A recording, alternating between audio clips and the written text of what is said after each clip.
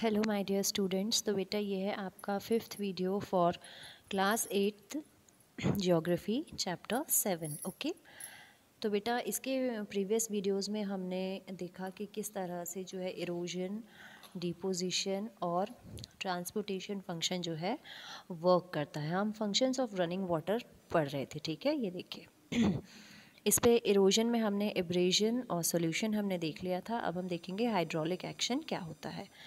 तो बेटा जो फ्लोइंग वाटर होता है, उसका खुद का पावर होता है, ठीक है? उसमें क्या होता है the flowing water with its own power exerts particle projecting from bed and banks river in hydraulic action. तो एक्चुअली में वाटर का जो पावर होता है, आप उसे हाइड्रोलिक पावर कह सकते हैं। उस एक्शन की वजह से जो छोटे छोटे पत्थर हैं, वो रिवर के बेड मतलब रिवर का जो बॉटम होता है, उसे काटते हैं रिवर के किनारों को बनाते हैं, ठीक है?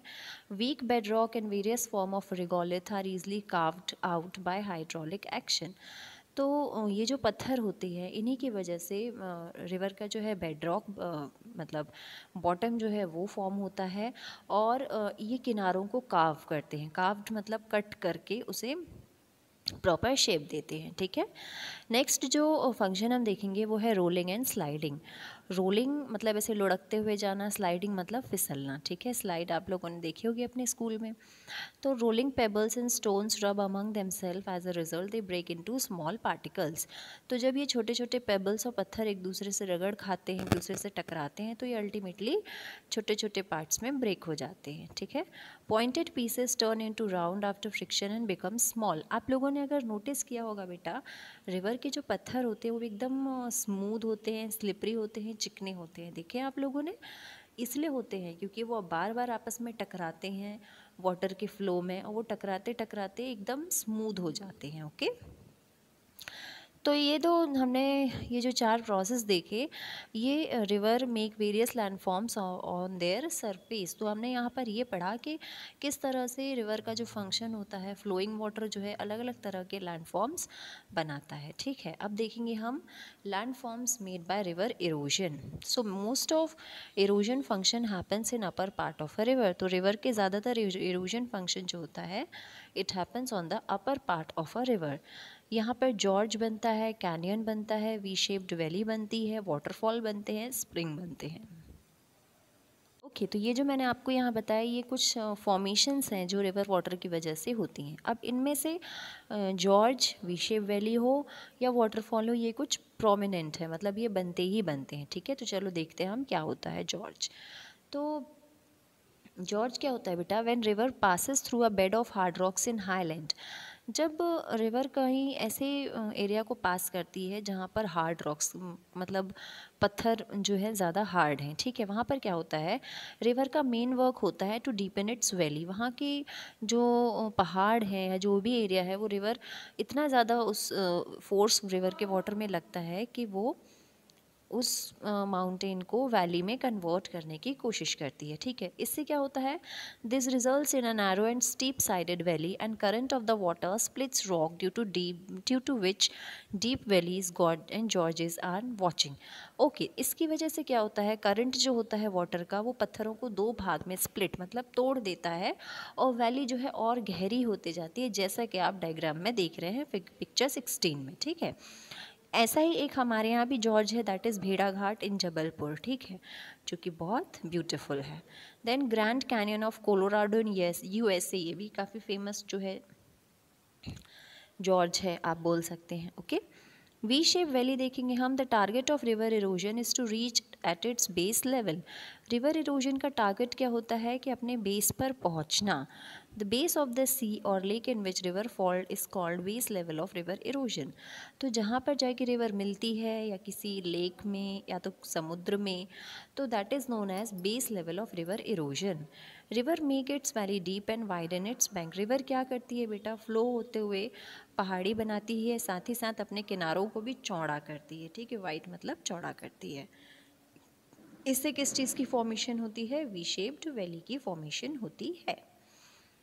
नेक्स्ट हम देखेंगे वाटरफॉल सभी को पता होगा वाटरफॉल को हिंदी में क्या कहते हैं? झरना, ठीक है? So when the river falls almost vertically from a sufficient height along the course of the river, it is called waterfall. तो जब रिवर ऑलमोस्ट एक uh, हाइट से ऊपर से नीचे पानी रिवर का गिरता है इसे हम वाटरफॉल कहते हैं।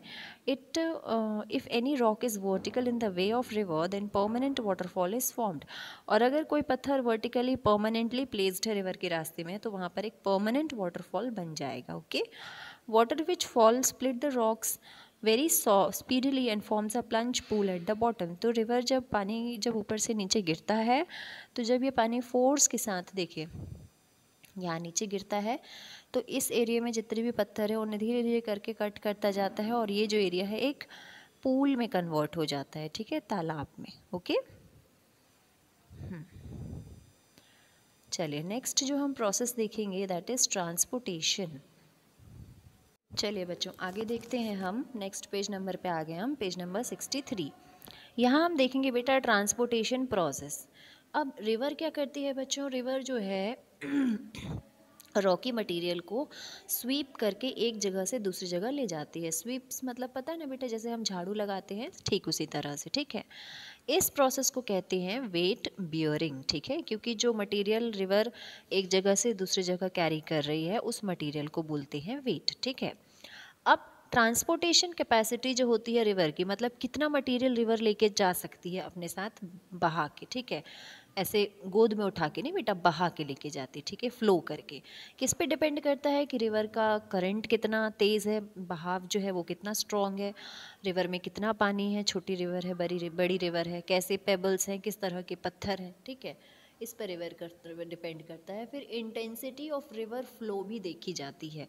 मतलब जितनी ज़्यादा तेज़ बहने वाली रिवर होगी, उतना ज़्यादा जो है मटेरियल जल्दी जल्दी एक जगह से दूसरी जगह कैरी आउट हो जाएगा। ओके नेक्स्ट हम देखेंगे deposition so when a river enters into plain from hilly areas जब रिवर हिली एरिया से प्लेन सरफेस में आती है तो उसकी जो स्पीड है, वो डिक्रीज़ हो जाएगी ना? बनी बात है जब ऊंचाई से जब मैदान में आएगी रिवर तो उसकी स्पीड कम हो जाती है। उसकी कैपेसिटी जो होती है वेट बियरिंग की, वो भी कम हो जाती है ना? जो अपने साथ मटेरियल वो फ्लोट करते हुए लेते आई है।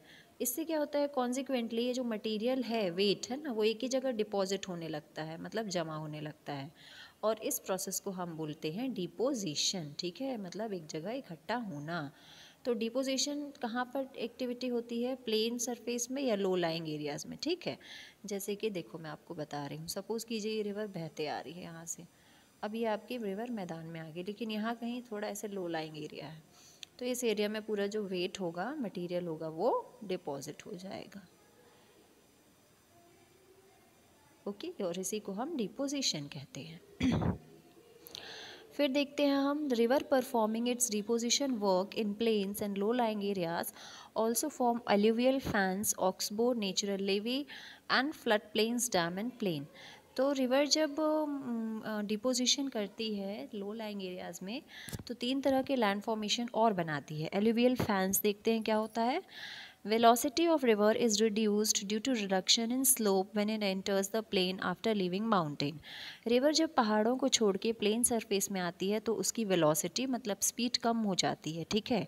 इससे क्या होता है? रॉक मटेरियल जो है, एक जगह डिपॉजिट होने लगता है और इस तरह के एलुवियल फैंस बन जाते हैं, जैसे कि आप डायग्राम में देख पा रहे हैं ओके नेक्स्ट है oxbow lake When a river flows across its plain, speed of river slow, water slows down and river does both work of erosion and deposition. तो जब रिवर प्लेन्स को अलग करके निकलती है दूसरे एरियाज़ में तो कभी स्लो होती है कभी तेज़ पानी बहता है। इससे क्या होता है? दो काम एक साथ होते हैं इरोजन का और डिपोजिशन का। ओके जब इरोजन और डिपोजिशन साथ में होते हैं तो यहाँ पर क्या होता है?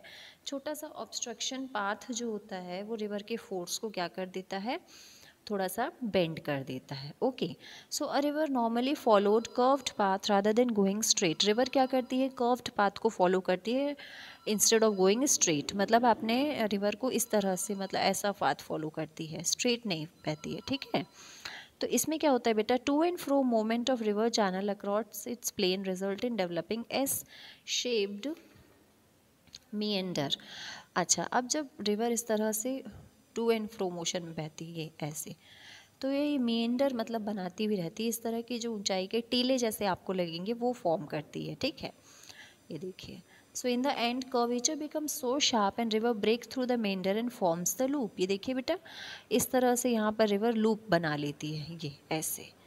ओके देखो, ऐसे। ये ऑक्स बो लेक कहलाते हैं। ऑक्सबो आप समझते हैं बेटा? अपने जो बैल होते हैं, उनकी पीठ पर देखा होगा, उठा हुआ पार्ट होता है। ये वही लेक होते हैं। इसी तरह के झरने होते हैं, ठीक है?